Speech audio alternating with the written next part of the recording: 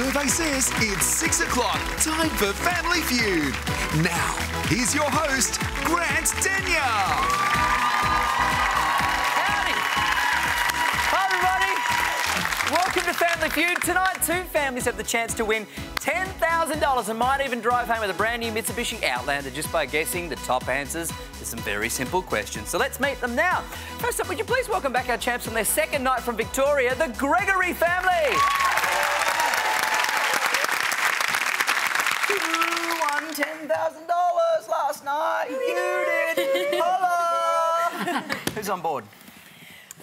Your team. Here today we have this is my cousin Shannon, this is my mum Leanne, and my nan Lola. Hey, hi, Lola. Hi. Lovely to see you, darling.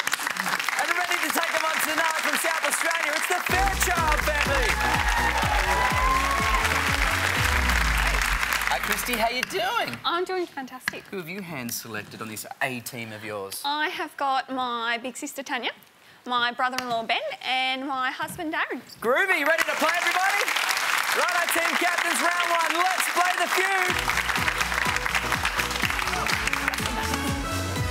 feud. We surveyed 100 people and the top eight answers are on the board. Name something you might be given on your wedding day. Michaela? Gifts? You might be given gifts. Beautiful. Christy? Um, a ring. Of course you would. A ring. Pass or play? Pass. You guys wanna play? Hey, Shannon, what I didn't realise was you guys are all tap dancers. Is that right?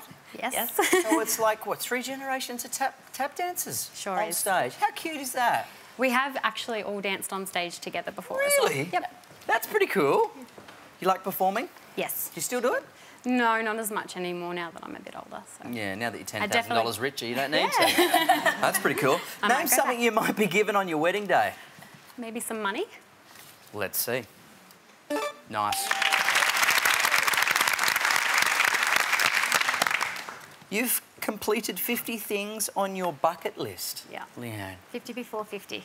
Really? So that was like a long-term plan for you, and you sort of ju- just decided last minute, I'm going to whittle off Yeah, and I had to do it very quickly. your favourite thing. Um, Sydney Harbour Bridge was one of my favourites. Oh, isn't that there? gorgeous? Yeah, it was beautiful. Great climb, beautiful Yeah. view, beautiful harbour. Lovely. Now, name something you might be given on your wedding day. I'm going to go out on a limb and say a husband.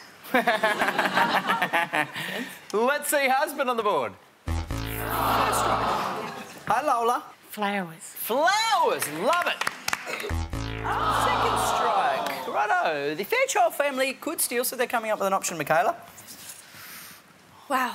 Um, flowers was going to be mine. So, uh, Can't now. nope, definitely not. Something you might be given on your wedding day? Um, alcohol? I don't even know why. You'll be given alcohol. I just, I would hope. Oh, sorry, Gregory's Fairchilds. Darren, what would you say, mate? I'm going to say cards. Ben. A holiday? Tanya. The things you hang around your wrist that are all dangly that I can't think of the name of. Oh, the, right the now. dangly wrist things. The dangly wrist things. Cool. yes. Christy, you're the boss. Take one of those options or use your own. Oh, No the dangly no wrist pressure. things are pretty good, but I think as the bride, you get something blue. You get something blue.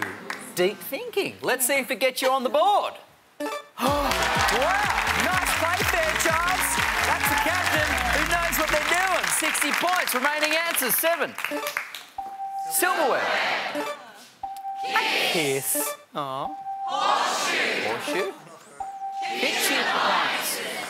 The horseshoe and charms, I believe, are the dangly things, Tanya. So that was on the board too. Well done. If you guys are- keep playing like this and go for five nights, you know you'll win an amazing all-new Mitsubishi Outlander. Aha! This great family SUV seats five. It's packed with features including Bluetooth phone system, touchscreen audio, reversing camera, and safety features that include seven airbags. Now here's a question for everybody playing at home. I want the top answer to this one. Name someone who works in a hospital. Let's see how you go when we come back after the break. Don't go anywhere.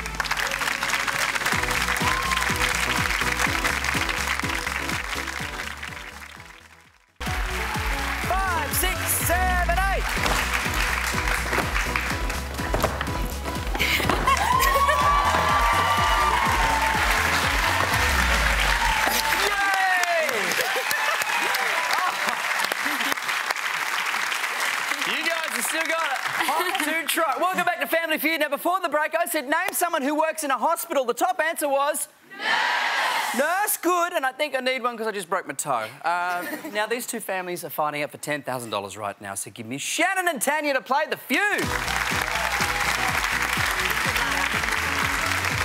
We surveyed 100 people and the top seven answers are on the board. Name an animal that ruins a farmer's crop. Tanya. A goat. Goat does? Or doesn't? Shannon. Rabbits. Let's see rabbits.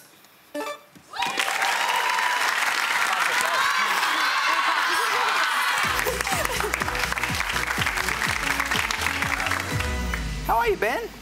I'm very well, thank you, Grant. You get married on a really hot day, did you? Just a little bit. How hot was it? 46.4. You're kidding me. Wow. New Year's Eve. So Wow. everyone, it everyone enjoyed the drinks that night. let me put it Indoors or outdoors? I was indoor, Yep. but there was no escaping that heat. Stinking hot. Yeah. How do you go standing there in your bag of fruit, just sort of waiting for it to turn up? I wasn't too bad, but I had a 110 kilo groomsman who we just whispered to and said, mate, if you fall over, none of us can pick you up. so We're not catching you. we can't catch you. No. no, we got through it okay. It was but it great. all worked great. out okay in the end, and everyone had a great time. I time. had a beautiful bride. It was a great day. Oh, stop it, you. Smoothie. Name an animal that ruins a farmer's crops. Kangaroo. Let's see. Darren, Yes. how are you doing? Good, thank you. Name an animal that ruins a farmer's crop. Foxes. Show me fox. Where am I going? Here I am. Christy. Yes. Name an animal that, uh, that ruins a farmer's crops. Locusts. Locusts do when they come through in their swarms. There you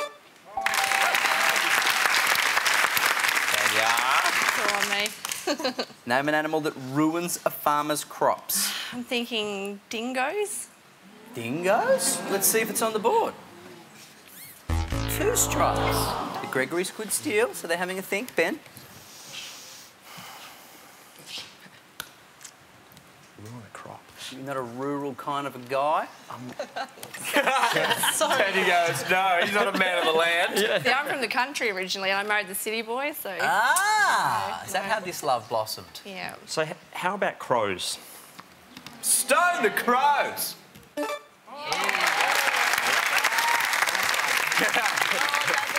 Righto, Darren. What do you reckon? What about worms? I'm just going to throw it out there. You definitely threw it out there. Yeah. Threw it out there. Let's see if it's successful. no, it's not, I'm afraid. Sorry, Fairchilds. Righto, Gregory's. Lola, darling, what would you go with? Mice. Oh, I like that. Leanne. I'm going to go with birds. Good. Excellent. Shannon. I like mice. Definitely. Mice. Yep. Kaylee, you're the boss. And boss balls. You're the boss. Do it like a boss. Okay.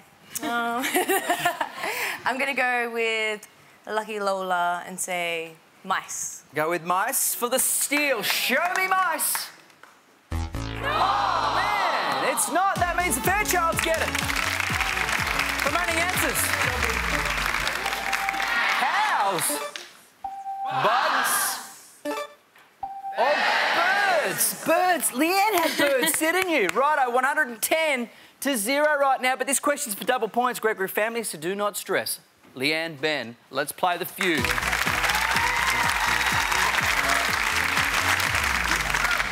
We surveyed 100 people and the top six answers are on the board. Name something little kids fight with their parents about. Ben. The toys. Their toys. No. Leanne. Bedtime. Bedtime. Good answer. Top answer. Pass or play? They're going to play. Are we playing? What was it like performing on um, Graham Kennedy's uh, In Melbourne Tonight Show, IMT? I can't remember. so long ago. It was a little while ago. It was an iconic show. Yeah. Big moment. I won't talk to you any further about it because you don't remember it. Name something little kids fight with, with their parents about. Mealtime. Meal time. Great job. Taylor? You weren't a troublesome kid, were you? Not at all. No. Oh, mum's nodding. Angel. Name something little kids fight with their parents about. I'm gonna say eating vegetables specifically. Mm, yeah. Good answer. Let's see if it's on the board. No, it's not.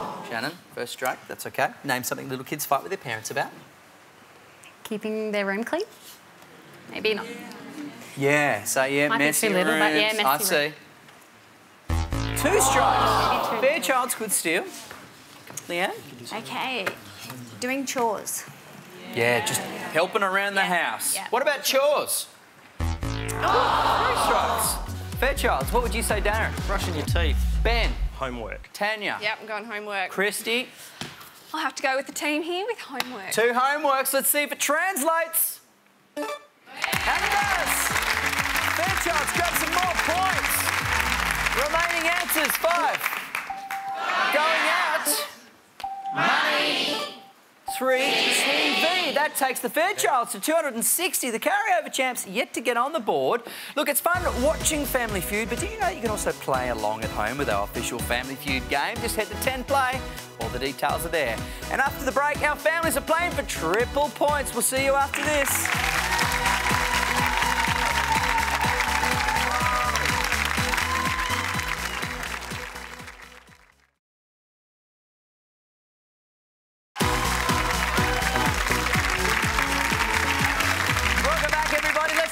Scores on Family Feud tonight. Our carryover champs on zero, yet to get on the board. The Fairchilds have it on 260, and it's the family who gets to 300 points in this round will win the game. That might seem like a big ask, Gregory family, but you know what will help? Triple points. That's what we're doing right now. Lola, Darren, let's play the feud. Good luck. Thank you. We surveyed 100 people, and the top seven answers are on the board. Name something you see in a basketball court.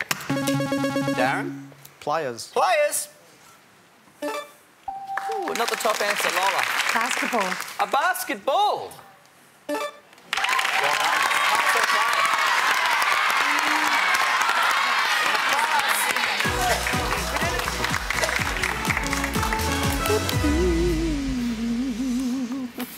Name something you see in a basketball court, Christy. A mascot. You see a mascot. Cool. Not so cool. Tanya. How about an umpire? An umpire? Let's have a look. Referees, basketball. I know what you meant. Dangly things. ben, name something you see in a basketball court. Sorry, I'm distracted by the dangly thing. Does that happen a lot? More than I'd like to admit. Okay. How, how about you'd see a coach? Yeah, you'd see a coach. That's two strikes, so potentially the Gregory's could steal, Darren. Well, you can't have a basketball court without the, the lines and the markings on the ground. Yeah, the lines The on the lines. ground, the markings. That's Let's right. see if it's there.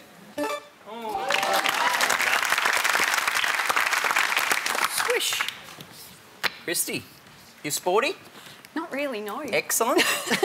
Name something you see on a basketball court. Uh, the crowd.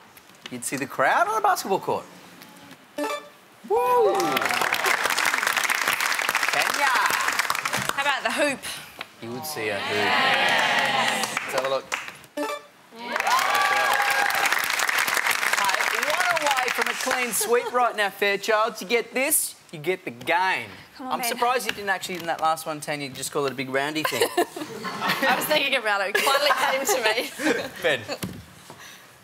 I think the only thing left you need is a scoreboard. You'd need a scoreboard.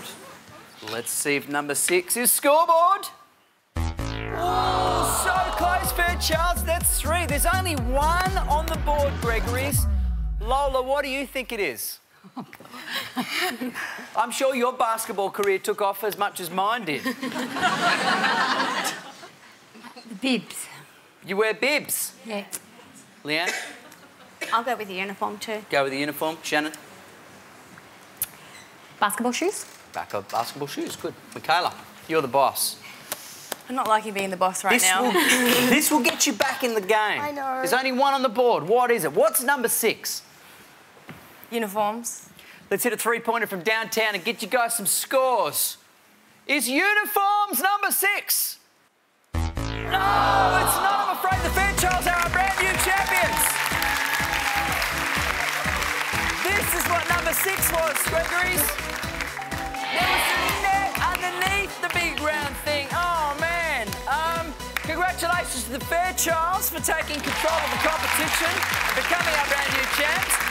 But it's a farewell to the Gregory family. So thank you, Michaela, Shannon, Leanne, and Lola, who's taking home $10,000. Well done. So a big round of applause for the Gregorys, please. We enjoyed having you guys on board.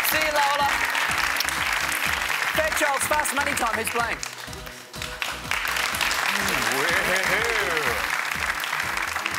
This is a little exciting, isn't it? It is very. This is very cool. this is where the money's made. Ready to do it? Yes. You're back that way in our soundproof booth. You're going to go second. You and I are going to go first in just a moment. The fast money round, $10,000 coming up next. Don't go anywhere. Congratulations. On Facebook and Twitter. Plus, you can find us on YouTube and catch all the action on 10 Play.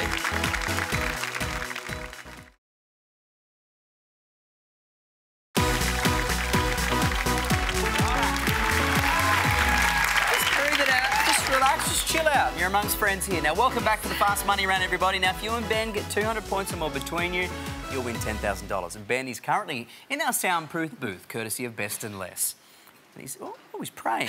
He's praying for a good result, everybody. He's hoping and pleading and on his knees that you take home $10,000 right now. I'm going to ask you five questions and I'll give you 20 seconds to answer, OK? Now, if you pass, we'll come back if there's time, and the clock starts at the end of the very first question. So, you ready? Mhm. 20 seconds on the clock, please, and best of luck. What might you find more of in the suburbs than you would in the city? Backyards. Tell me a vegetable that's commonly found in soup. Pumpkin. Name a type of school. Primary school.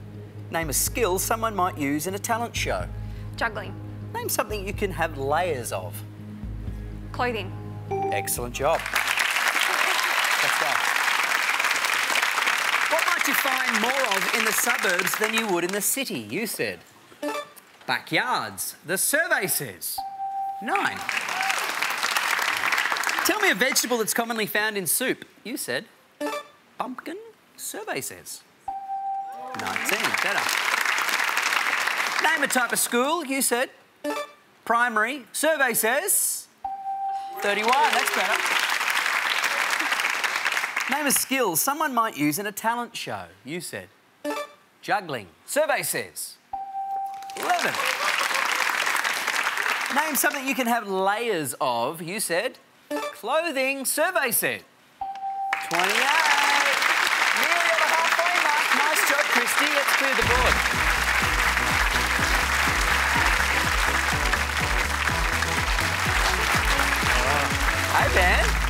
Welcome back. you. You need 102 points to get $10,000. So nearly half the work's already been done, which is great news. I'm going to ask you the same five questions, but I'll give you an extra five seconds to answer. Now, if you give me the same answer as Christy, you'll hear this sound, and I'll ask you to try again, OK?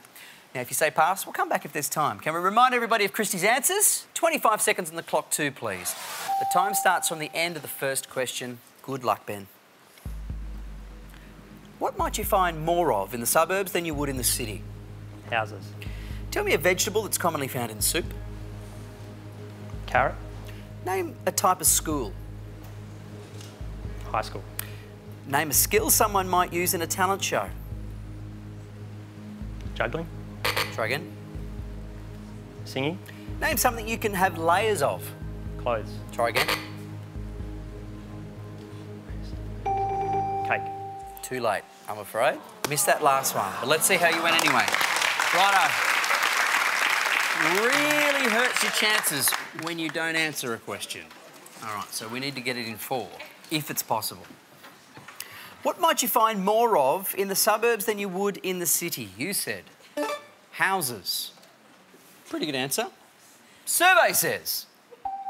Cool. Now, trees was the top answer. Tell me a vegetable that's commonly found in soup. You said carrot. Now remember, we've got four answers to try and get ourselves to 200 here. This is cool because it's the top answer. Yeah.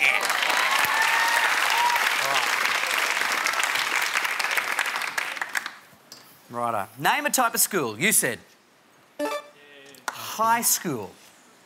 We need this to be a high scoring because there's really only one more answer to come after this. Survey says primary school was the top answer. That was Christy's. Name a skill someone might use in a talent show. You said singing. This needs to be 24 or more for $10,000. If it was, you'd be pretty happy about that.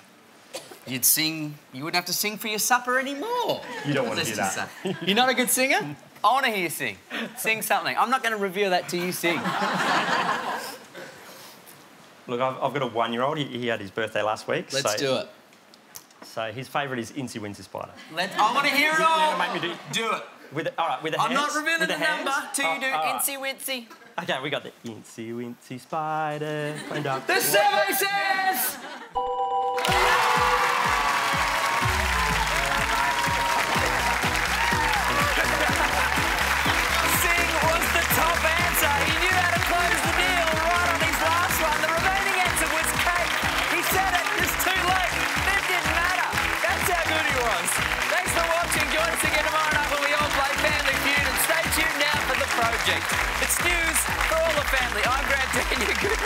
Victoria en Sigüenza.